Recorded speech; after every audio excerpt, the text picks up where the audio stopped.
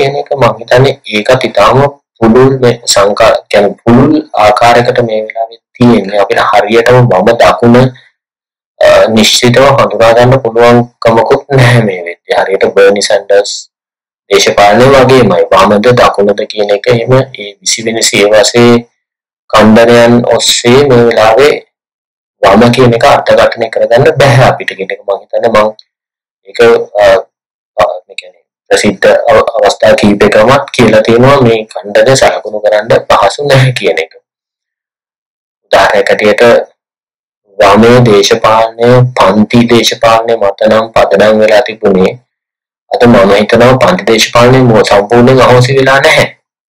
නමුත් බර්නි සැන්ඩර්ස් වගේ අයගේ දේශපාලන දැන් ශ්‍රී ලංකාවේ ජනතාව කරන දේශපාලනය ගත්තා නිශ්චිතව පන්ති දේශපාලනය තුළ උන්ගේ දේශපාලනය ස්ථානගත වෙනවා වෙලා තියෙනවා කියලා අපිට කියන්න පුළුවන් කමක් නැහැ. විශේෂයෙන් ප්‍රජාතන්ත්‍රවාදී ප්‍රවාහය ඇතුලේ ඒ කට්ටිය වැඩ කරනකොට අර ඒ නිර්ධන පන්තිය එහෙම නැත්නම් කම්කරු පන්තිය වගේ කියන්නේ බෙදුම් රේඛා යටතේ නෙවෙයි යෝන් වැඩ කරන්නේ ඡන්දදායකයෝ කියන වෙනත් කුලකයක් එක්ක. ඒක මේ හුඟක් හිතන්නේ කතා කරන්නේ නැහැ. ඇත්තම මේවා කතා කරන්න වැඩකුත් නැහැ හුඟක් වෙලාවට. මොකද අපි ඒ තරම් මේ මේ මේ කතා බහ ඇතුලේ මම්මුලා වෙලා තියෙන්නේ. නිශ්චිත මේ න්‍යායික හැදිලි කර ගැනීම වලින් තොරව තමයි මේ සියලු දේවල් මේ වෙනකොට සිද්ධ වෙන්නේ. ඒකට මම හිතන්නේ X එකේ දේශපාලනයත් යම් ආකාරයකට වග කියන්න ඕනි. මේ අද මේ සංඥා එහාට මෙහාට වෙන විදිය ගත්තාම එක පැත්තකින් කියනවා මේ මේ ඔන්න ස්ත්‍රීවාදී සංඥාතකයක් අරන් ඇවිල්ලා කියනවා මෙන්න මේකයි වා මේ දේශපාලනය කියලා එක කොටසක් කියාගෙන යනවා. තව කොටසක් කියාගෙන යනවා නෑ ඒක නෙවෙයි වම කියන්නේ වම කියලා කියන්නේ වෙනත් න්‍යායික ප්‍රවේශයක් කියන එක තව කොටසක් කියාගෙන යනවා තවත් කොටසක් කියනවා නෑ මේ දෙකම නෙවෙයි නැවතත් පන්ති දේශපාලනය කරා විතන්වීමයි වම දේශපාලනය කියලා. එතකොට ජවිපේ මම හිතන්නේ වෙන ස්ථාවරයක ඉන්නේ පෙරටුගාමි සමාජවාදී පක්ෂය තවත් ස්ථාවරයක ඉන්නේ කියලා මට හිතෙන්නේ. ඉතින් මේවා මේ එම සමහන් කරන්න පුළුවන් ඒකාත්මික භාවකට එන්න පුළුවන් තත්ත්වයක නෙවෙයි තියෙන්නේ මොකද අපි ජීවත් වෙන්නේ පශ්චාත් ධනවාදී සමාජයක නිසා පශ්චාත් ධනවාදී සමාජයක ජීවත් වෙනවා කියන එකෙන් අදහස් කරන්නේ ඒ සමාජය විසින්ම අපගේ මුල් උදුරලා දානවා කියන එකයි දැන් උදාහරණයකට ජවිපෙට බැහැ මේ වෙලාවේ තමන්ගේ මුල් මූලික මූලික පන්ති ප්‍රවේශයකට නැවත එන්න. ඒක එන්න බැරි වෙලා තියෙන්නේ. ඒක ටික වරදක් නිසාවත් මේ එහෙම දෙයක් නිසා නෙමෙයි. මේ ක්‍රමය මේ වෙලාවේ වැඩ කරන්නේ වෙන සංඥා ටිකක් එක්ක. ප්‍රජාතන්ත්‍රවාදයේ පිළිබඳ සංඥා ඔබගේ පළවෙනි ප්‍රශ්නේ තියෙන්නේ ඒක. ඒ ප්‍රජාතන්ත්‍රවාදයේ පිළිබඳ සංඥාවත් එක්ක වැඩ කරනකොට මේ පන්ති සංඥා කියන එක එක්ක සමාන්තරගත වෙන්න බෑ ඒ පක්ෂයට. ඒ වෙන සටන් පාට ටිකක් ගේන්න වෙනවා කියන්නේ. මම කියන්නේ ඒකට මේක දන්නේ නැහැ කියන එක නෙමෙයි. නමුත් එයාලට කරන්න වෙලා තියෙන වෙන වැඩක් කියන එක. උදාහරණයකට දූෂණය. දූෂණය කියන කාරණාවනේ කටේ පහුගිය අවුරුදු 10ක විතර කාලයක් තිස්සේ දිගටම මාකට් කළේ. ඒක මාකට් කිරීමක්.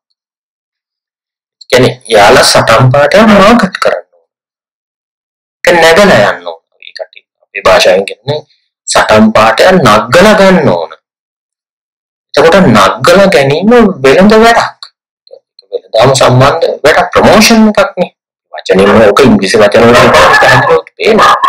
ප්‍රොමෝෂන්.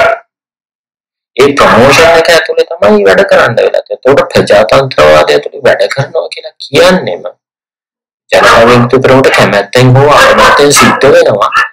ඒ ඒ ප්‍රොමෝෂනල් ඒ කියන්නේ ඒ වැඩේට යන්න විකිනි සටන් පාට විකුණන්න.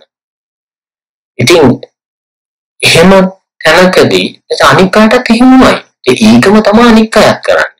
දැන් හිතන්නකෝ දැන් දැන් දැන් පුරුෂයා කියන්නේ නපුංසකෙක් කියලා මාකට් කරන එක කණ්ඩායම. එතකොට එයාලට සිද්ධ වෙනවා ඒ ඒක ඒක ඉස්සරහට ගේන්න Facebook එක හරහා හරි මොනවා හරි කරලා ඒ කට්ටියට සිද්ධ වෙනවා ඒ සටන් පාටේ මාකට් කරන්න.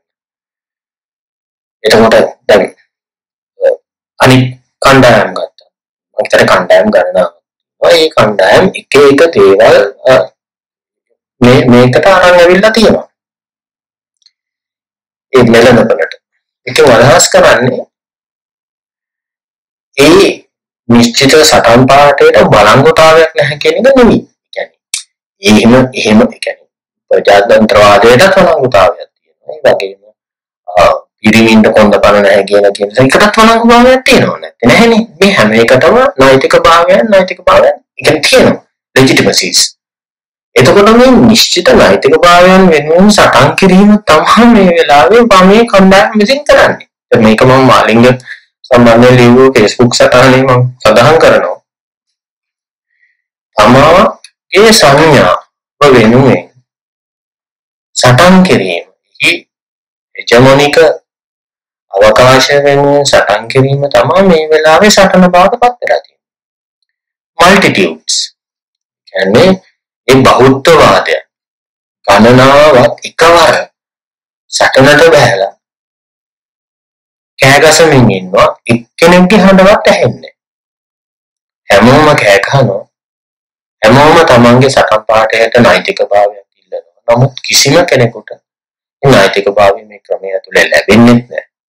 එහෙම ලැබුණා වුණත් කරන්න පුළුවන් අටමඟලකුත් නැහැ. කරන්න පුළුවන් දෙයක් නැහැ ඒකෙන්. අපිටත් ඕකමයි. අපි අපිත් මොනවා කීවත් මේ මං කියන දේත් මෙච්චරයි. මේ මේ කිව්වත් මේක ඊට පස්සේ සංඥා අතරම වැළලීලා යනවා. ඉතින් ඒකයි මම කියන්නේ මම මේක හෙජමොනික මේ බලය ඉල්ලන්නේ නැහැ කියන එක. ඒක වැඩක් නැහැ. ඒක අරන් වැඩකුත් නැහැ. එනේ ජනතාව උතර මේ වෙලාවේ බලය ගත්තට වැඩක් නැහැ. කරන්න පුළුවන් දෙයක් නැහැ. මේ රටේ කරන්න පුළුවන් වෙච්ච දෙයක්වත් නැහැ. ඒ වගේ මේ ප්‍රජාතන්ත්‍රවාදය කියන එකට දැස්සට පස්සේ අර අර අපිට රැඩිකල් වෙනසක් ඒ කියන්නේ මනෝ විශ්ලේෂණ වචන වලට යන්නේ නැතුව කිව්වොත් අපිට මූලික පදනමේ වෙනසක් කරන්න කවුරුටත් අවකාශය ලබා දෙන්නේ නැහැ ඒක. ඒ කියන්නේ හරි. ඒ කියන්නේ මතු මහලේ මොනවා වුණත් ඒක සම්ප යථාවේ වෙනසක්. පරස්පරතාවල වෙනසක් කරන්න පුළුවන් වෙන්නේ නැහැ මේ ප්‍රජාතන්ත්‍රවාදී ක්‍රියාවලිය ඇතුලේ. ඒක නිසා පළවෙනි ප්‍රශ්නය හැටියට ඔබ අහන මේ මැතිවරණ ප්‍රජාතන්ත්‍රවාදී දේශපාලනයේ ප්‍රමුඛ මෙලවක් කියන පළවෙනි ප්‍රශ්නේ මේට කියන්න තියෙන්නේ ඒක හුතු එකෙන් අදහස් කරන්න ප්‍රජාතන්ත්‍රවාද වැඩගත් නැහැ වගේ කියන එකක් නෙවෙයි. නමුත් එය අපිව හැම වෙලාවම පසුපසට තල්ලු කරනවා. ඇත්ත පරස්පරතාවය වෙත යාමට ඉඩ නොදී. ඒ නිසා අහන පැරඩයිම් ෂිෆ්ට් එකක් කියන්නේ සමාජ සමාජාශය ගැඹුරු අර්ථයෙන් ඒ ඔස්සේ සිද්ධ වෙන්නේ නැහැ. එතකොට අපි යමු මේ සංකල්පය ගැන පොඩ්ඩක් තවත් පැහැදිලි කර ගැනීම සඳහා ස්ලාවෝවිච්ගේ ආ සබ්ලයිම් ඔබ්ජෙක්ට් of ideology කියන පොතේ දෙවෙනි පිටුවට ඒ වර්සෝ සංස්කරණය 2009 පොත. එතකොට එතනදී චිචක් මෙහෙම කියනවා මේ මේ යුගයේදී අර්චන වස්තුන් වස්තුන් සහ වස්තුන් අතර තරගයකට ඇද වැටි තියෙනවා. අර්චනකරණය වස්තුන් සහ වස්තුන් අතර තරගයක් කියන එක. උදාහරණයක් ඇරෙට Audi කාර් එකක් තරඟ කරනවා BMW කාර් එකක් කියන එක. දැන් අපි ඔය පර්මිට් විශ්වවිද්‍යාලාචාර්යවරුන්ට මේ දෙන ඒවට ඒක දොස්තරවරුන්ට වගේ දෙන ඒවට කියොත් එහෙම ඒ කට්ටිය වාහන වාහන අතර තරගයක්. වාහන පාක් එකට ගියොත් ඒක පාක් එකේ කාර් එක නවත් වෙලා තියෙන කෙනෙක් පාපේ එළියට නවත්තලා තිබුණොත් තේරෙනවා Audi කාර් එක සටන් කරනවා BMW කාර් එකත් එක්ක. එතකොට Toyota නම් මොනම් ඒ වගේ මට්ටමේ කාරුත් අරකට එක්ක සටන් කරනවා. ඒ වගේ නැත්නම් Toyota Toyota කාර් අතර මෙන්න මේ විදිහට අර්චන වස්තුන් වස්තුන් අතර තරඟයක් තමයි මේ පශ්චාත් ධනවාද යුගයේ දකින්න ලැබෙන්නේ. ඒ කොමඩිටි ෆෙටිෂිසම් කියන කියන්නේ පාරිභෝගික වස්තුන්ගේ අර්චන තරගය. දේවල් අතර වූ තරගයක් බවට පරිවර්තන වෙලා තියෙනවා කියන එකෙන් අදහස් කරන්නේ ඔබ නැවත හෙගල්ට යනවා මෙතනදී කියනවා. අර ස්වාමි සේවක සම්බන්ධයක් ඇතුලේ පමණ මෙන්න මේ මෙන්න මේ අර්චන තරගය දකින්න හම්බෙන්නේ නැහැ. ඒ කියන්නේ මෙහෙම මෙහෙම දෙයක් දැන් ස්වාමියා පහලා තෙස අර්චන ස්වරූපයකින් නෙවෙයි බලන්නේ එතනදී බල සම්බන්ධයක් ඇතුළේ. බල සම්බන්ධයක් ඇත ඩොමිනේෂන් and servitude. එතකොට ඒ බල සම්බන්ධයේ ඇතුලේ තමයි වහලාට වහලා බවට පරිවර්තන වෙන්න සිද්ධ වෙලා තියෙන්නේ. එතකොට වහලෙක් සහ තවත් තවත් වහලෙක් අතර කියන්නේ තව මිනිස්සු දෙන්නෙක් අතර කියන්නේ මිනිස්සු මිනිස්සු නෙවෙයි කියලා කියන්න පුළුවන්. නමුත් ඒ දෙන්න අතර අර්චන තරංගේ නෙවෙයි කියන්නේ. ඒතර ඔවුන්ගේ පැත්තෙන් ගත්තාම වහල් භාවයෙන් නිදහස් වීම ප්‍රශ්නයක් ස්වාමියාත් එක්ක ගොඩනගෙන. ස්වාමියාගේ පැත්තෙන් තමාගේ බලය තහවුරු කරගන්න මෙන්න මේ සම්බන්ධය තමයි අපිට මිනිස් සම්බන්ධයක් ඇටියට එතන දකින්න පුළුවන්. මිනිස් සහ නොමිනිස් නමුත් ඇත්තටම ගත්තම මිනිස් සම්බන්ධය. එතකොට මේක මම කියන්න උත්සාහ කරේයි. ඒ තමයි මේ සමස්ත අර්ගලයට මාස්ටර් කෙනෙක් නැහැ කියන්නේ. වමේ මේ කෑගසමින් ඉන්න වමේ කොට්ටාශ කුඩා කුඩා කණ්ඩායම් එක කණ්ඩායමක දෙන්නයි තුන් දෙනයි තුන් දෙනයි හතර දෙනයි සමහරවිට ඔක්කොම පවුලේ අය එහෙම නැත්නම් යාළුවෝ දෙතුන් දෙනෙක් එකතු වෙලා මෙන්න මෙහෙම තත්ත්වයක් නේ ගොඩක් තියෙන. ඒකට ෆලෝවර්ස්ලා ගත්තත් Facebook එකේ ෆලෝවර්ස්ලා ගත්තත් මට ලයික්ස් උනත් 100ක් 150කට වඩා වැටෙන්නේ. ඒ කියන්නේ ෆලෝවර්ස්ලා ගත්තත් ෆලෝ කෙනෙක්ගේ ලයික් එකක් දානවා කියලා හිතුවත් අපිට ෆලෝවර්ස්ලා 100ක් ගන්නත් බෑ. එතකොට ෂෙයාර්ස් ගත්තා ෂෙයාර්ස් 20යි 30යි 40යි. ඒ නේ මම කියන්නේ සංඛ්‍යාත්මක වශයෙන් ගත්තාම නියමරිකලි අපි ඉන්න තැන මේකෙන් මොන බලපෑමක්වත් එක්සත් ජාතික පක්ෂයටවත් ගෝඨාභයට කාටවත් එහෙම අපිට කරන්න බෑ. එහෙම තත්ත්වයක් නෑ. එහෙම අපිට ලොකු බලයක් ඒව නැහැ. ඒ නිසා මේ මේ කුඩා කණ්ඩායම් අතර තියෙන මේ තරංගය අර්ජන තරංගයක් බවට පරිවර්තනය වෙලා තියෙනවා. පුද්ගලයන් පුද්ගලයන් තමාගේ ජනමික අවකාශය අර්චන වස්තුන් ලෙස අර්චන අවකාශය වෙනුවෙන් කරන සටනක් තමයි තියෙන්නේ මානව සම්බන්ධයක් කියන්නේ එහෙම එකක් නෙවෙයි කියන්නේ ගොඩක්.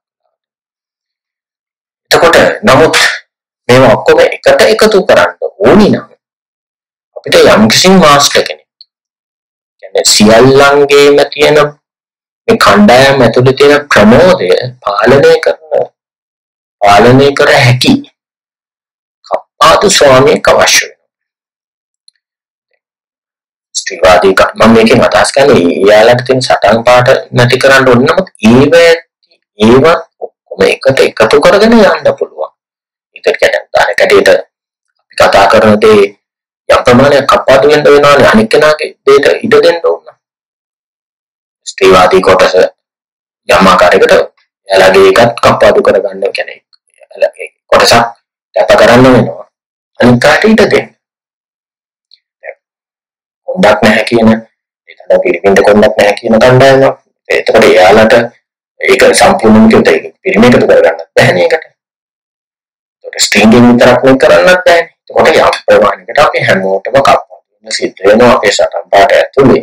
එන අපේ ප්‍රමෝදය අපේ පක්ෂ ඇතුළේ තියෙන ප්‍රමෝදය පක්ෂ හරි කණ්ඩායම ඇතුළේ තියෙන ප්‍රමෝදය කප්පාදු කරන එකට ලක් කරන්න පුළුවන් ස්වාමියෙක් අවශ්‍ය වෙනවා. ඒක තර පැරණි මේ ස්වාමී අර්ථයෙන් ගන්න එපා. මම විශ්ලේෂණ අර්ථයෙන් ගන්න. එහෙම තැනකදී විතරයි එකිනෙකා අතර තියෙන අර්චන සම්බන්ධය අහෝසි කර හැකියි ප්‍රමාණයකට. ඒ කියන්නේ මාස්ටර් ස්ලේව් රිලේෂන්ෂිප් එකක් ආයෙත් එනවා. එතලියන වර්තෙන් අපිට මේ කලෙමින් කරා වගේ වැඩක් ඇත්තටම ගොඩක් තිබ්බ එක එක විවිධ කණ්ඩායම් එකතු කරගන්න මේක කලේ. බවොත් එහෙම. කොට ඒ ප්‍රාදේශීයවාද ආගම්වාද කුලවාද මේ හැම එකකම තියෙනවා නිශ්චිත ප්‍රමෝදයක්. ඒක නෙමෙයි රතනහාමුදුරුවෝ වේවා මේ ඔක්කොමල දඟලන්නේ සාෆි ප්‍රශ්නේ වේවා පැලෝපියනල මේවා තුල තියෙනවා යම් යම් ප්‍රමෝද. ජාතිවාදයේ කිසියම් ප්‍රමෝදයක්. එතකොට මේ අතිරික්ත ප්‍රමෝදය ඔස්සේ තමයි මේ හැමෝම වැඩ කරන්නේ. ඒ හැමෝම ඉල්ලා සිටින්නේ ශරාන්ස්කෝන් වගේ අතිරික්ත ප්‍රමෝදයක්. එතකොට මේ අතිරික්ත ප්‍රමෝදය අපි හැමෝම තුල තියෙනවා. මේ සියලු සකල විද කණ්ඩායම් තුල තියෙන මේ නවකවදේ ගන්න එකත් අතිරික්ත ප්‍රමෝදයක් නේ. එතකොට මේවා කප්පාදු වෙන්න වෙනවා යම් ආකාරයකට. ඒ කියන්නේ ඒක කප්පාදුනොත් තමයි එහි තියෙන අර්චන ස්වරූපය යටපත් කරලා එහි තියෙන මනුෂ්‍ය ස්වරූපය ඉස්මතු කළ හැකි වන්නේ. ඉතින් අන්න එහෙම මාර්ගිතයක් තරාකාරයකට අවශ්‍ය වෙනවා මේ වෙලාවේ මේ නැවත අපිට මේ මේ වම එක්සත් කිරීම කියන කාරණේ ඉස්සරහට ගන්න ඕන. සමහරව න්‍යායික කණ්ඩායම්. ඒකට න්‍යාය ප්‍රමෝදයක් නේ. එක එක අර්ථයකින්. ඒකට ඒකත් යම්මාතරේම කපාදු වෙන්න වෙනවා. සමහර ප්‍රායෝගිකත්වයේ කියලා තෝ. එහෙම ඒකක් නෙවෙයිනේ. මොලේ කියලාත් එකක් තියෙන්න බෑ. අතින් පහින් විතරක් කරන්නත් බෑනේ. අනේකයි මම කියන්නේ. මේක සමස්තයක් හැටියට යම් කිසි සම්බන්ධයක් ගොඩනගන්න ඕන නම් මේවා අතර මේවා අතර මේ කණ්ඩායම අතර අන්න එතෙන්ද කප්පාදුව ගේන්න වෙනවා මොකද හැම කණ්ඩායමක් මේ අවස්ථාවේ හිස්ටරිකයි එම එම ප්‍රන්තේ එම පිටුවම සිදුවෙන පිටුවම හැම කණ්ඩායමක් තුළම තියෙනවා. එක්තරා ආකාරයකට හිස්ටරික ස්වරූපයක්. ඉල්ලා සිටිනවනේ. මෙන්න මේකයි අපේ එක. මෙන්න මෙහෙම වුණොත් තමයි මේක හරියන්නේ. කියන මේ මෙන්න මේ කප්පාදුව. ධනවාදයේ විසින් කරන්නේ නැති නිසා ධනවාදය කරන්නේ ඒක හැම විටම උත්සන්න කරනවා ප්‍රමෝට් කරනවා. කියන්නේ හැම කණ්ඩායමක්ම මේ මේ තියෙන ප්‍රමෝදය යන Facebook එක හරහා උත්සන්න වෙනවා.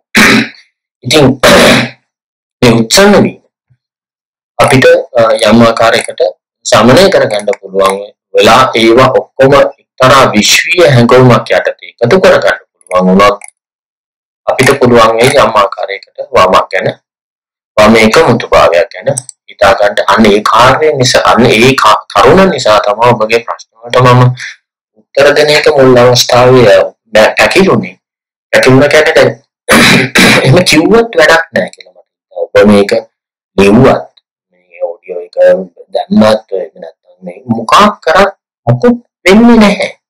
මොකුත් කරන්න බෑ. ඒ නිසා මේ ප්‍රශ්න සම්බන්ධයෙන් ගත්තොත් මම ඒකයි මේ තරම් ඒක කියන්නේ ඒකට උත්තර දීම තරම්ම ප්‍රයෝජනවත් කියන කියන්නේ සැකේ මන තුළ තියෙන එක වැඩක් වෙයිද කියන එක. ඉතින් 2020 නැතිවරණ ඔබගේ තුන්වෙනි ප්‍රශ්නෙට යන්නේ මම.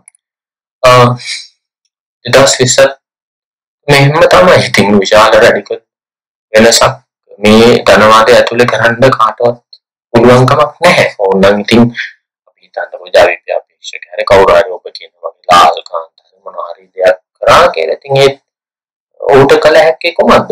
මේ සමස්ත ගෝලීය ආර්ථිකයක් ඇතුළේ ඌට පමණක් මේ දේශීය ආර්ථිකය කියන්නේ දේශීය දේවල් ටිකක් කරන්න පුළුවන් නේද දැන් උදාහරණයකට හිතන්නකො මොනාරි කරයක් කරන්න ගියත් එකම දෙයක්වත් නෙමෙයි. අනුරට එකක්වත් කරගන්න බැරි වුණානේ කරන්න බෑ. කරන්න බැරි හේතුව අපි ගැට ගහලා තියෙන ගෝලීය ආර්ථිකයක් එක්ක. ගෝලීය ආර්ථිකය කප්පාදු කිරීම පහසු නැහැ ඒක ජපානය වගේ රටක් නම් ඒ අම්ප්‍රමාණයකට කරගෙන තියෙනවා. ඒකත් ඉවරයි ඒක කට්ටිය උනත් සමස්තයක් හැටියට. ඒ ධනවාදී මේක ඇතුලේ විශාල මේක අර්බුදයකට තමයි ගමන් කරලා තියෙන්නේ. සමස්තයක් හැටියට ගත්තාම. ඉතින් ඔබ හතරවෙනි ප්‍රශ්නේ. සමාජ ව්‍යාපාර ඒ කියන්නේ ප්‍රජාතන්ත්‍රවාදයේ සාධාරණ සමානතා සමානාත්මතාවය යන මූල ධර්මයන් එක කියන්නේ නිර්මාණය කරන පවත්වාගෙන අපිට කටයුතු කරන්නේ නම් මුල් අවස්ථාවේම සපුරාගත ප්‍රමුඛ කාරණා මොනවාද? ඉතින් කියන්නේ සමානාත්මතාවය ඒ කියන්නේ වැනි සන්දානයක සමානාත්මතාවය කියන එක කොහොමද සපුරගන්නේ කියන එක සාකච්ඡාවකින් එන්න වෙන්නේ. ඒ කියන්නේ මම කිව්වනේ උදාහරණයකට මෙහෙමයි දැන් අපි X කණ්ඩායම කියන කාරණේ ගන්නකො මම හිතන්නේ මේ අවස්ථාවේ නැවත මේ X එකේ සංඥාව පිළිබඳ නැවත කතා කරනවා මට හිතෙනවා. නමුත් මම හිතන්නේ ඒක තරම් ප්‍රතිඵලදායකයි කියලා. මොකද මම හිතන්නේ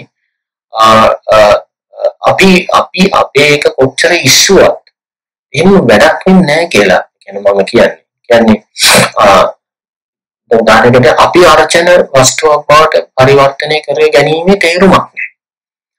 දැන් ඒ නිසා අර සමානාත්මතාවය කියන එක මේ තියෙන අති කියන්නේ තා පුළුල් වෙච්ච මේ තාම මේ සංකීර්ණ මේ ගැප්ස් කියන්නේ මොකද අපි එකට කියන්නේ මේ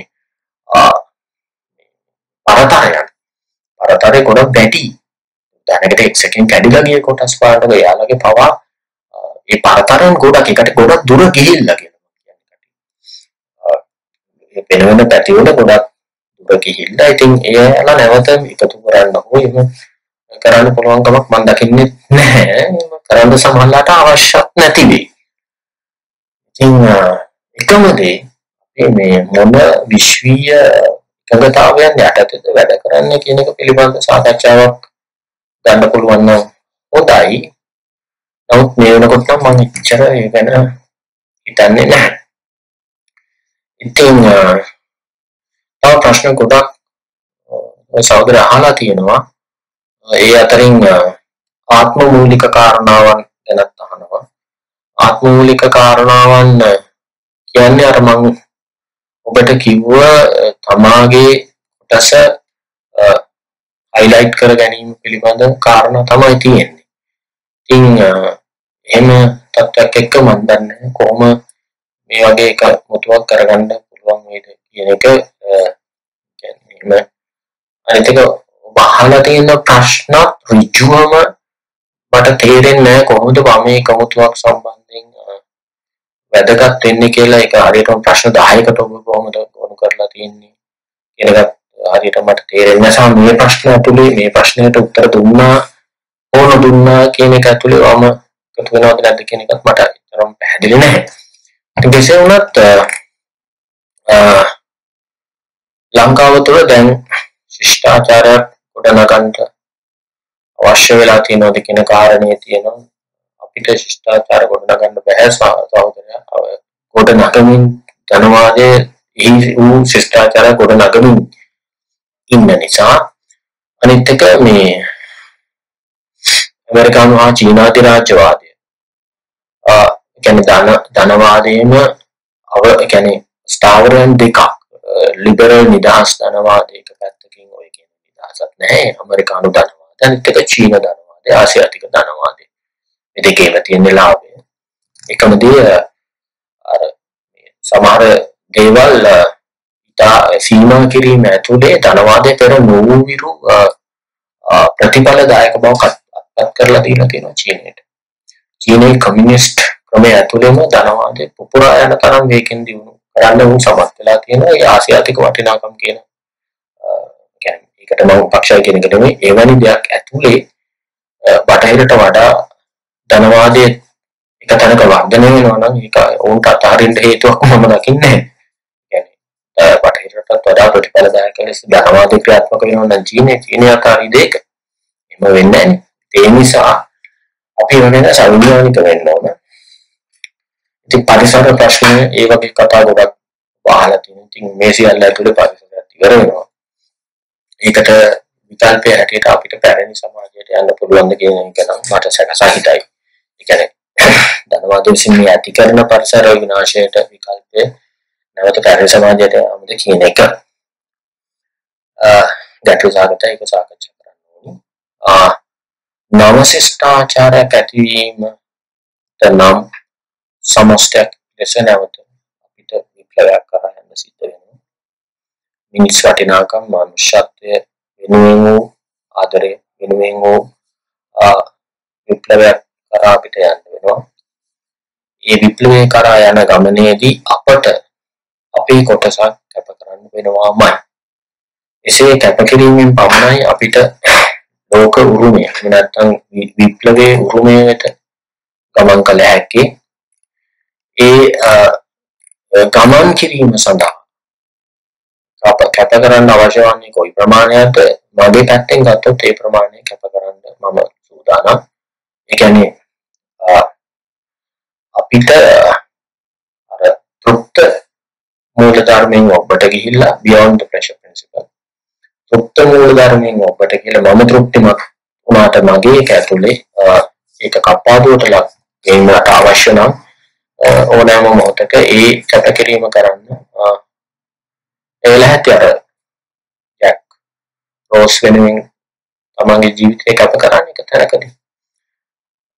ටයිටනික් තමයි මේකේ සම්භාව්‍ය උදාහරණය එයා සීතල වතුරේ ගිලිලා තමාගේ ජීවිතේ තව ජීවිතයක් වෙනුවෙන් අනේකා කැප කරා කැප කිරීම ඇතුළේ ඔහු ඔහු ලෝකේ සබ්ලයිම් ඔබ්ජෙක්ට් එකක් බවට පරිවර්තනය වුණා.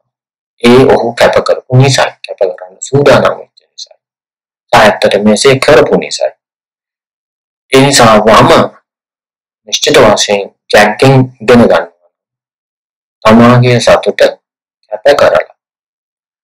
ඒ කැප කිරීම තමාට කවදාකවත් සතුටක් ලෙස ලැබෙන්නේ නැහැ ජැක්ට ඒක ලැබුණේ නැහැ නේ ආපහු සීතල වතුරේ මැරිලා ගියා මිසක්. ඒ නිසා මම ඊටයි කියන්නේ ඊගෝ එක බිඳුවට අහම බිඳුවට ගෙන ගෙන ගෙනහිල්ලා තියෙන එතන. තමා නැහැ තමා නොපවති අනේකා පවතින්නේ. එතකොට අන්න ඒ තැනට අනේකත්වයට ඉඩ දෙන තමාගේ කොටස කැප කරන වමක් වමේ කණ්ඩායම්. ඒ තැනට න්‍යායිකව එකඟ වෙන තැනකදී ගෝලීය වශයෙන් විශ්වීය අර්ගලයක් පිළිබඳ බලාපොරොත්තු තබන්න වෙයි. ඒ තාක් පවතින්නේ දෘෂ්ටිවාදයක් කියන එක විතරක් කියලා ඔබගේ ප්‍රශ්න වලට ඇත්තටම උත්තර ඒ ආකාරයෙන්ම ලැබෙන්න නැතුව ඇති. නමුත් මට කියන්න තියෙන දේ මම කිව්වේ ඒ කැපකිරීම ඇතුලේ රෝස් ජැක් ජැක් රෝස් තුල නැවත උපදිනවා රීඉන්කාර්නේෂන් ජැක් මැරෙනවා තමයි. නමුත් රෝස් තුල ඔහු අමරණීය වෙනවා. අප තුලත් ජැක් අමරණීය එතකොට ඒ අමරණීය භවයේ පසු ඒ කියන්නේ ඒකේ පදනම තමයි ඔහු තමාව කැපකිරීම තමාව. තමාගේ ජීවිතය තමාගේ තෘප්තිය කැපකිරීම ඇතුලේ තමයි අනිකා තුල ඔහුට ඉපදෙන්න පුළුවන්. රීන්කානේට් ඉන්දි අද.